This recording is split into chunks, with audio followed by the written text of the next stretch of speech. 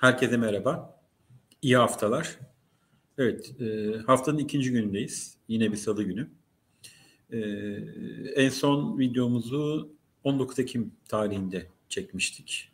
E, iki haftalık bir süreç oldu. E, bu süreç zarfında aslında geçtiğimiz videoda birçok hisse senedine yönelik olarak değerlendirme yapmıştık. E, bu videomuzda bir miktar o değerlendirmelerimizin muhasebesini e, yapmak istiyoruz.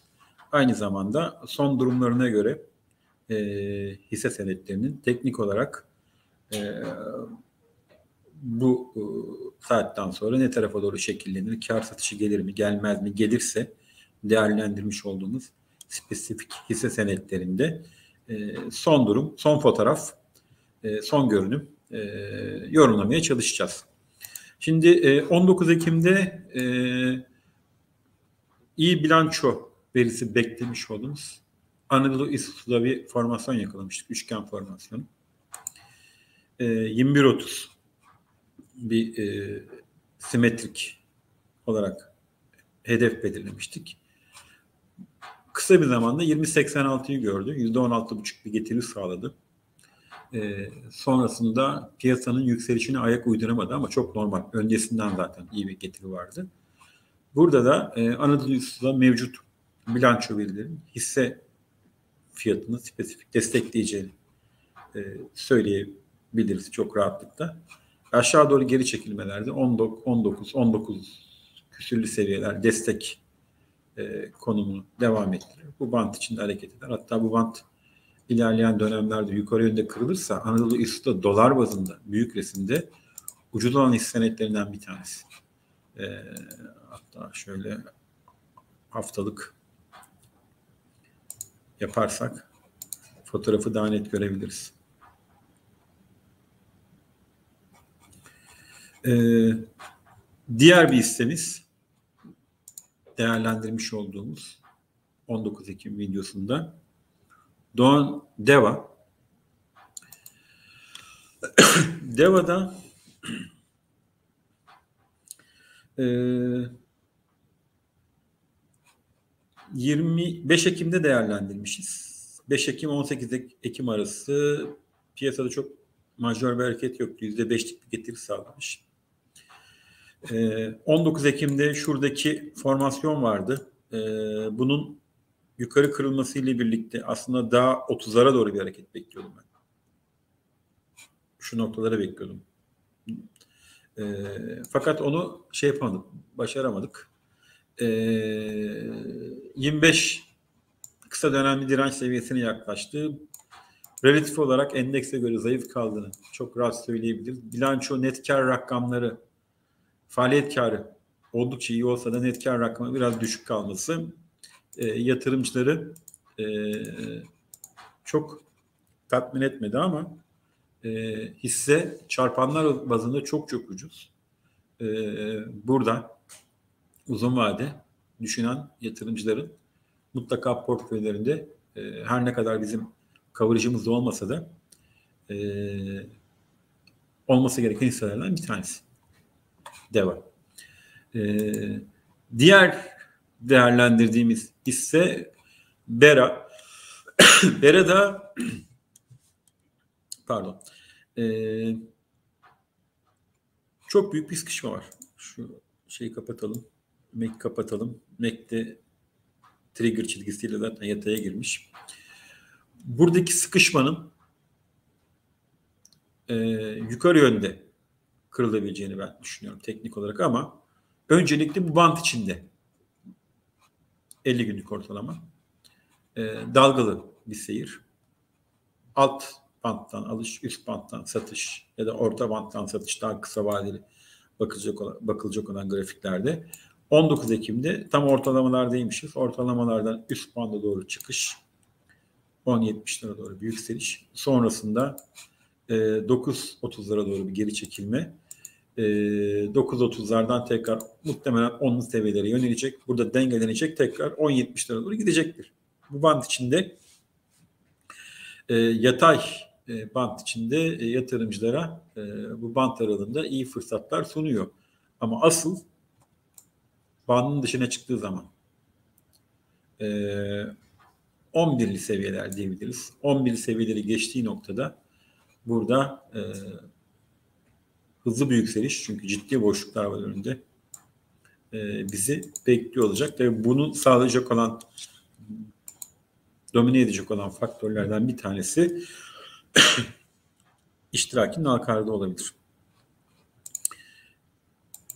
Yine e, önceki videolarımızda değerlendirdiğimiz hisselerden bir tanesi Doğan Holding. Ee, %9'luk bir getiri sağladı 19 Ekim sonrasında. Ee, şu noktada 50 günlük hareketli ortalama yeterli mi? Aslında değil. Ee, daha iyi seviyeleri e, teknik olarak ya da temel olarak hak ediyor ama karlık bir miktar zayıf geldi. E, o yüzden biraz burada duraksamış gibi gözükse de e, muhtemelen son çeyrek kar rakamları güçlü gelecek Doğan Holding'de.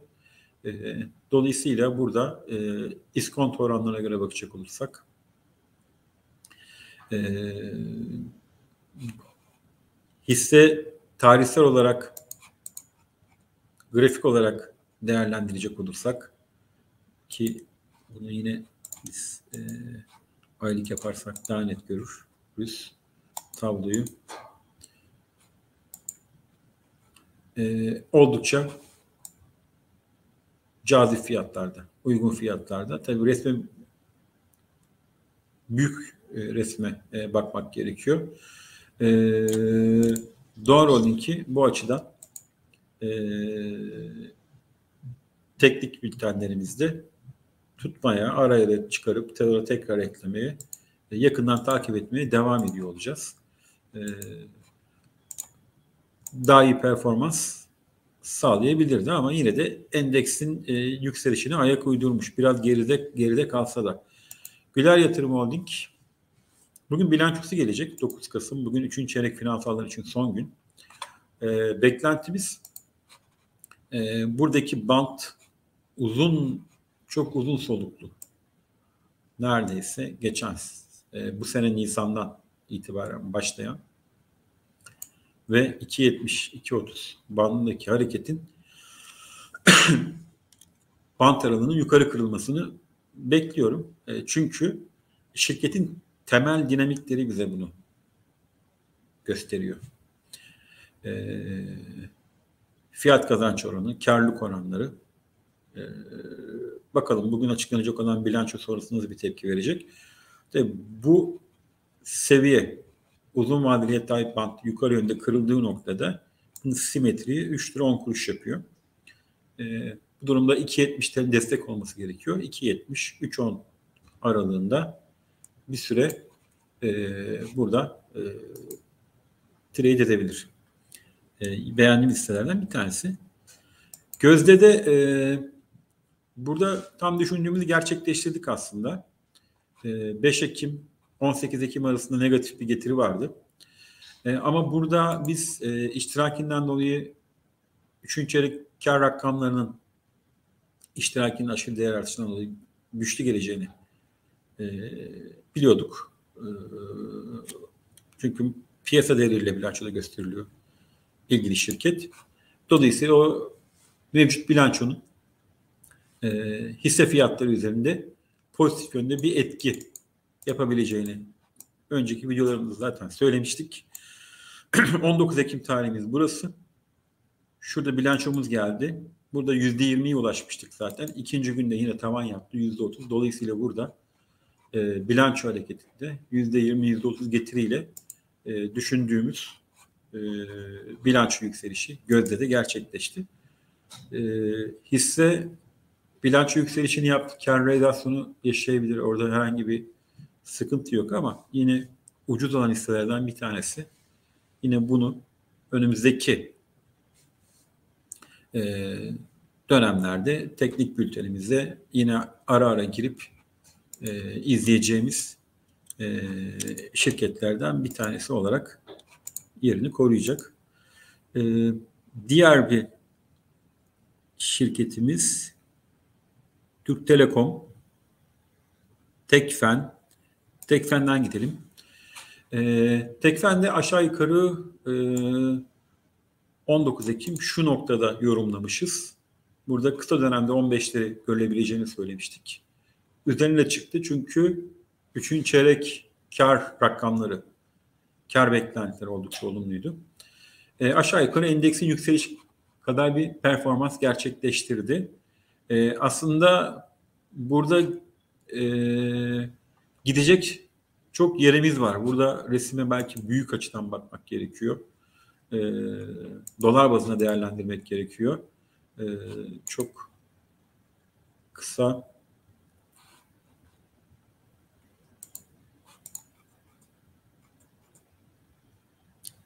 resme büyük açıdan bakmış olduğumuz noktada Tekfen'in oldukça dip seviyelerde olduğunu görüyoruz.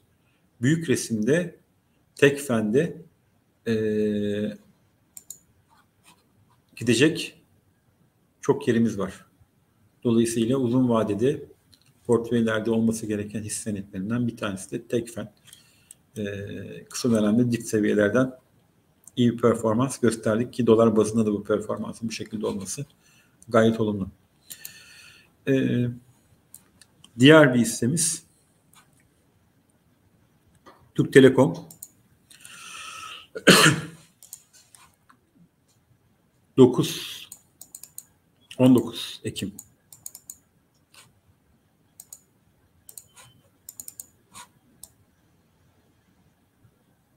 şurada yorumlamışız.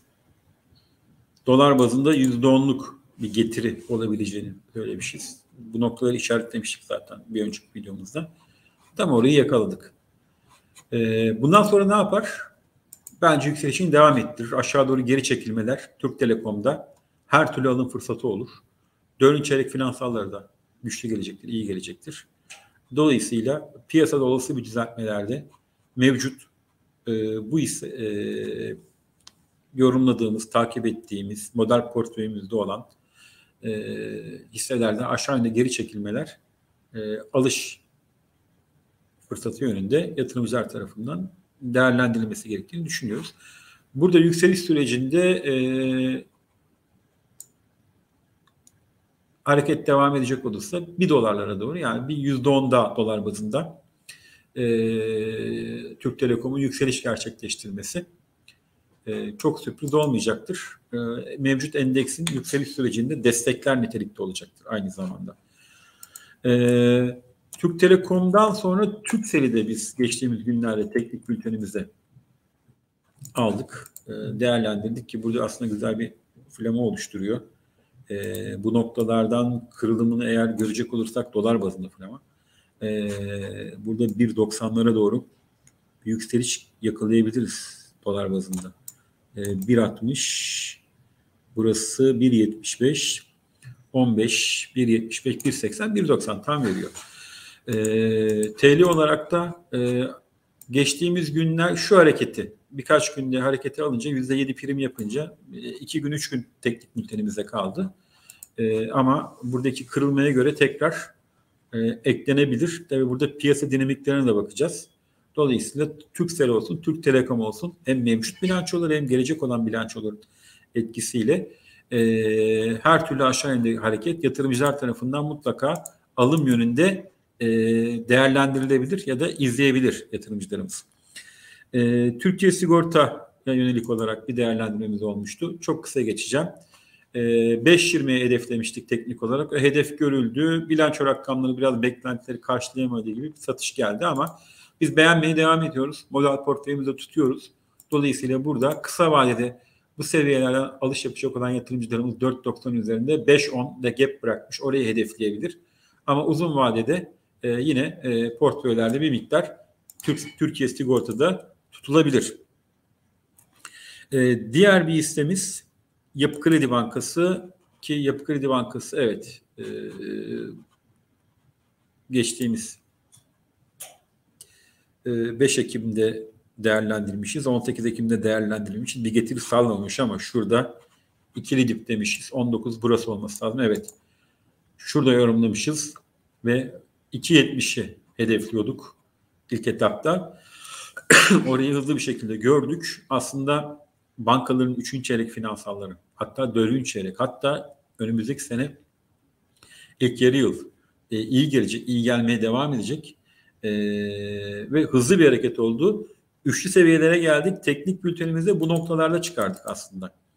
E, 2.98 civarına çıkardık. Yaklaşık %20'nin üzerinde %24'ler gibi bir getiri sağlamış oldu e, Yapı Kredi Bankası.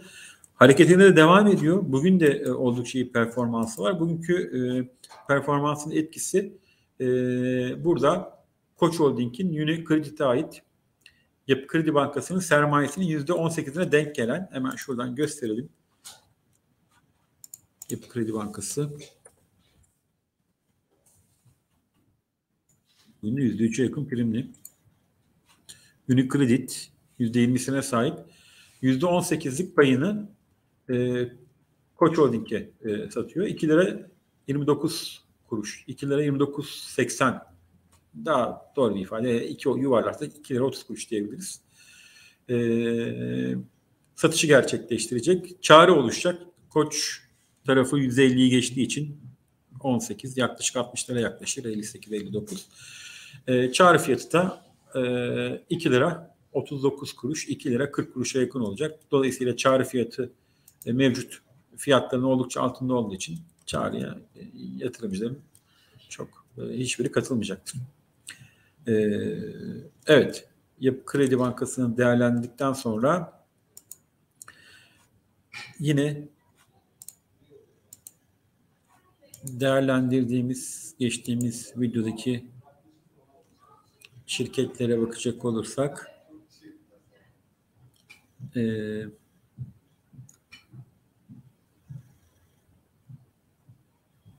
iş menkulde vardı. 5 Ekim, 18 Ekim, 5 Ekim'de değerlendirdik. %4.4 prim. 19 Ekim şu noktalar 50 günlük ortalama bilanço rakamları iyi bir performans. 17 seviyelere kadar yükseldi. E, iş menkul e, çarpan olarak ucuz, temettü verimi yüksek, e, uzun vadeli yatırımcıların mutlaka portföylerinde olması gereken hisselerden bir tanesi. E, çok rahatlıkla tutulabilir mevcut bilanço verilerine göre. E, bu arada geçtiğimiz günlerde yine e, teknik bültenimizde Türksel'de olduğu gibi e, havayolu bilançosu oldukça pozitif geldi bilmiş, e, bildiğimiz gibi. Pegasus eklemiştik. Burada da e, çok kısa zamanda Türk Hava Yolları'na benzer bir yükseliş hareketi e, iyi bir getiri sağladı. Pegasus yaklaşık yüzde 13'lük bir yükseliş birkaç gün içerisinde. Dolayısıyla onu teknik bültenlerimizden çıkardık ama bu üçüncü çeyrek finansalları açıklanacak Pegasus'ta. Burada e, 526 milyon TL net kar bekliyoruz. Havacılık sektörü verileri aslında iyi gidiyor şu anda. E, sezonsal olarak zayıf bir çeyreğe girdik ama e, Covid-19 yenilik olarak uçuş kısıtlamalarının azalması ve hava yollarının kapasite artışı Ekim ayı, Ekim ayı verilerinde e, iyi olduğunu gösteriyor. E, dış hatlarda 2019 seviyelerine e, yaklaşıyor ki 2020'yi çok değerlendirmiyoruz. Çünkü 2020 kayıp bir yıldı. Oradaki rakamlara göre kıyas etmek mümkün değil. Dolayısıyla pandemi öncesindeki rakamlara bakıyoruz. O seviyelere yaklaşıyoruz. E, bu olumlu. E, yakalayamadık o seviyeleri ama e, makasın daralması e, Ekim ayının e, iyi geçilmesi e, sektörde şu anki hisselerin zaten e, yukarı yöndeki bilanço sonrasındaki fiyat hareketlerinde destekler nitelikte. Ee, bunu da teknik bültende birkaç gün tutabildik iyi getiri sonrası. Neye ekledik? İş Bankası'na ekledik. Ee, teknik bültenimiz hala mevcut. Ee, tabii iki günlük bir süreç. Bilanço rakamları açıklandıktan sonra iyi geldi. Bütün bankalarda olduğu gibi. 2,5 2 milyar 491 milyon TL kar beklentimiz vardı. Piyasa beklentisi 2 milyar 326 milyon TL'ydi. E, 2 milyar 999 milyon TL net kar açıkladı. 3 milyara yakın. E, çeyreksel anlamda %37'lik bir artış. Yıldan yıla %40'lık %40'lık bir artış işaret ediyor. E, ve banka bu çeyrekte aynı zamanda 200 milyon TL'de serbest karşılık ayırmış durumda. E, bu karşılıkta ayırmasa, bu karşılıklar ayırmamış olsa kar rakamı 3 milyar 200 milyon TL seviyelerinde olacaktı. E, temel olarak hedef fiyatımızı yukarı yönde revize ettik. E, İş Bankası'nda 7.06'dan 8.53'e yükseldik, yükselttik. E, alt tavsiyemizi devam ettirdik. E, 2000 bu sene için %46'lık kar artış bekliyoruz. 2022 için %17'lik kar artışı öngörüyoruz banka için. E, 2022 tahmini fiyat kazanç oranı 2.4 çarpanla trade ediyor. 0.3 e, fiyat defter değeriyle 2022 tahminlerimize göre e, işlem görüyor. Dolayısıyla hisse oldukça ucuz. E, bilanço etkisi diğer bankalara göre de aslında geride kaldığını söyleyebiliriz İş Bankası'nın bu yükselişle. Diğer bankaların performansları belki biraz daha iyiydi. E,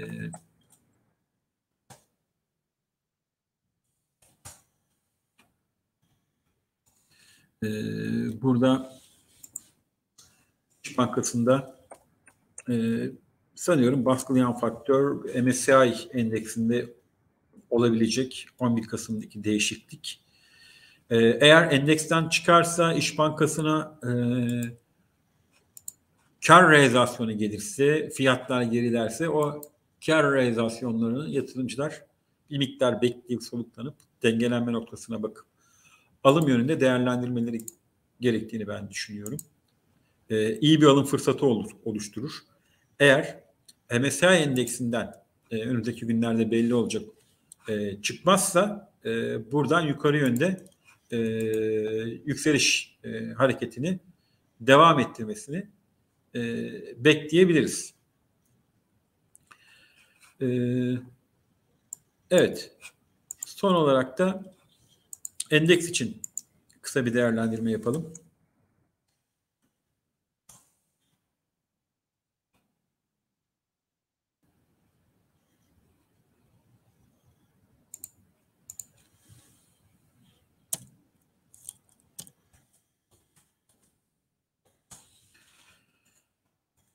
20 günlük hareketli ortalamamızı atalım. 19 Ekim tarihindeki videomuzun olduğu seviyelere dönelim. O noktalardan itibaren şu seviyeler.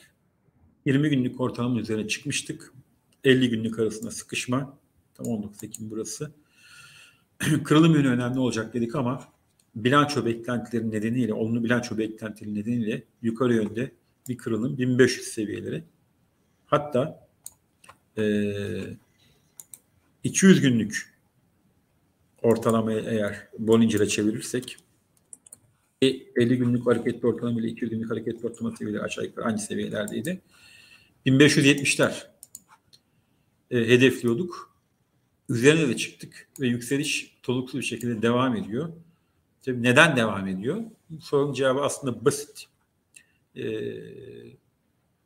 faizlerin düşmesi, Merkez Bankası'nın faiz indirimi sonrası mevduat faizlerinin düşmesi buraya e, ekstradan yeni yatırımcı talebinin bize geldiğini gösteriyor. İlgi alaka daha fazla arttı. Üçüncü çeyrek finansallarının fiyatlama sürecindeyiz. Ki dördüncü çeyreklerde iyi gelecek. Yurt dışı borsalarda şu an için e, risk alma iştahında herhangi bir düşüş yok. Olumlu seyrediyor. FED e, tarafından korkulan etkin görülmedi. E, yumuşak bir şekilde süreç, tapering süreci başlıyor. Önceden fiyatlanmıştı. E, artı bir taraftan da TL'nin değer kaybı hisseleri ucuz kılıyor. E, cazip kılıyor. Bakın şöyle bir değerlendirme yapabiliriz. Burası 2 Eylül tarihi Endeks 1480'leri görmüş. Bu seviyeler. 2 Eylül. 180 dolar. 179-180 dolar. 2 Eylül'deki seviye dolar bazında daha ulaşamadı. TL bazında nominal olarak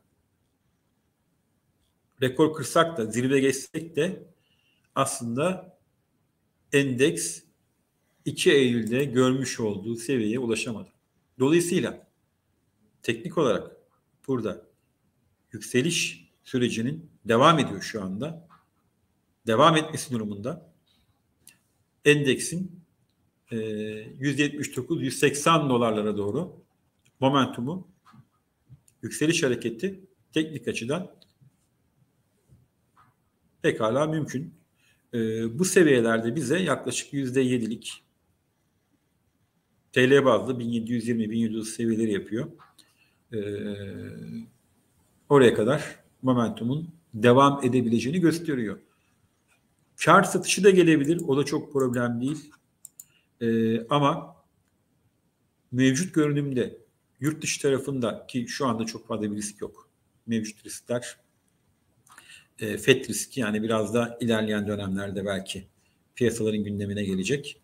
E, iyi kapanış yapacak yurt dışı borsa endeksleri. Genel görünüm bize onu gösteriyor. E, Amerika'daki ekonomik veriler oldukça iyi gidiyor. Avrupa'da bir miktar zayıflama olsa da e, genel gidişat e, gayet iyi. Asya biraz karışık. Çin tarafı kapalı kutu. E, orada her an her şey e, Evergrande krizinde olduğu gibi konut emlak sektörüyle ilgili yeni bir takım haberler gelebilir, baskılayabilir. Ekonomi biraz orada yavaşlıyor. O küresel büyümeyi bir miktar aşağı çekebilir ama e, merkez bankaların hala hazırda e, tapering süreci başlasa da e, varlık alımlarını azaltarak devam edecek olması belli bir sürede. Faiz artırımları için e, FED'de evet bir miktar hani şey var, e, yumuşama var. E, daha doğrusu e, enflasyonun sürecine yönelik olarak e, geçici olacağını öngörüleri devam ediyor ama sürecin biraz uzayacağını belirttiler. Dolayısıyla e, Haziran sonrasında faiz arttırımları e, ne zaman başlayacak? E, belli bir süre bekleyecekler mi? O istihdam rakamlarını belirleyici olacağını söylüyor FED. E, orayı takip edecekler ama hani genel gidişat şu anda yurt dışı borsa tarafında şu an için e, herhangi bir olumsuzluk gözükmüyor. Bu ortamda da biz aşağı yönde geri çekilmeler çünkü döviz bazında, dolar bazında şirketlerimiz hala ucuz. Ee, karlar iyi. Çarpanlar olarak herhalde bu çarpanlarla işlem gören e, dünyada çok az şirket vardır. Ee, dolayısıyla Borsa İstanbul'da bir süre daha burada ilgi alakanın yatırımcılar nezdinde artacağını söyleyebiliriz. E, aşağı yönde geri çekilmelerde e, bu mevcut trendi kaçıran yatırımcılar e, düzeltmelerle kar satışlarında uygun noktalarda e, alımada geçeceklerdir. Burada e, mevcut görünümde e, olumlu e, duruşumuz, görüşümüz Borsa İstanbul için devam ediyor. E, bu haftalık değerlendirmelerimiz e, bu kadar. E, bir sonraki videoda görüşmek üzere. Sağlıklı kalın, mutlu kalın. Kanalımıza abone olmayı unutmayın. Hoşçakalın.